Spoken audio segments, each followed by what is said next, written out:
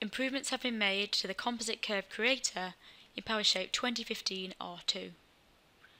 I will first of all demonstrate what happens in previous versions of PowerShape. I'm going to zoom into an area of my part here. All I want to do is create a composite curve around the edge of this face here. I'm going to go to my composite curve creator, select this edge, and I can start clicking around. And I've got to click many times simply to just get across a simple face like so.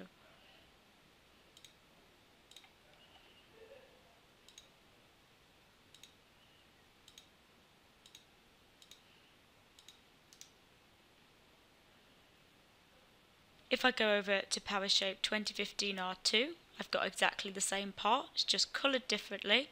I'm going to zoom into the exact same area and I want to create my composite curve.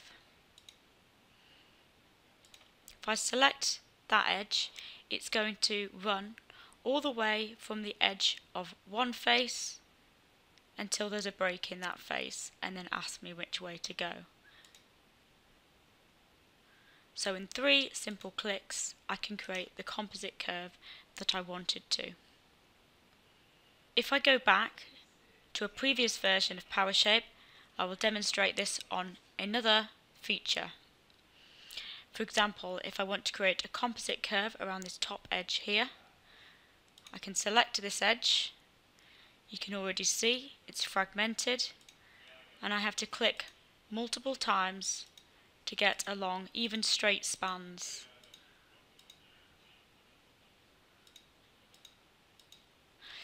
However, if I go to PowerShape 2015 R2,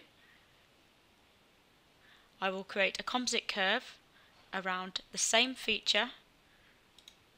You will see that my composite curve goes from all the way along one span until it hits the edge of a face and then in a few simple clicks I can create a composite curve around the entire top edge like so.